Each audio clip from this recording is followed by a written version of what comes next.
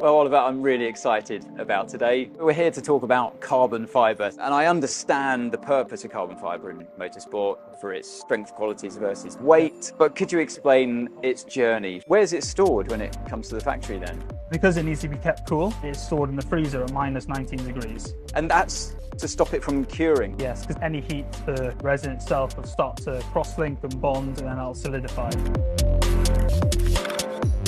Where does the carbon fibre come from? What is carbon fibre? the fibres themselves are spun mainly over in Japan. They'll spin them and then they'll weave them into the actual fabric. They'll ship that to the UK where resin will be pre-impregnated into the fabric itself.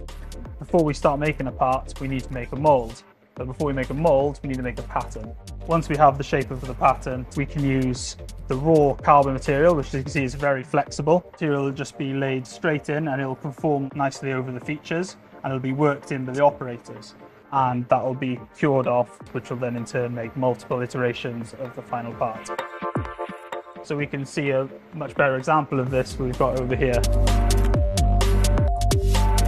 So this is the clean room. Temperature controlled, it's pressure controlled, and that's all to make sure that the carbon fibre prepreg lasts as long as possible while we're working with it.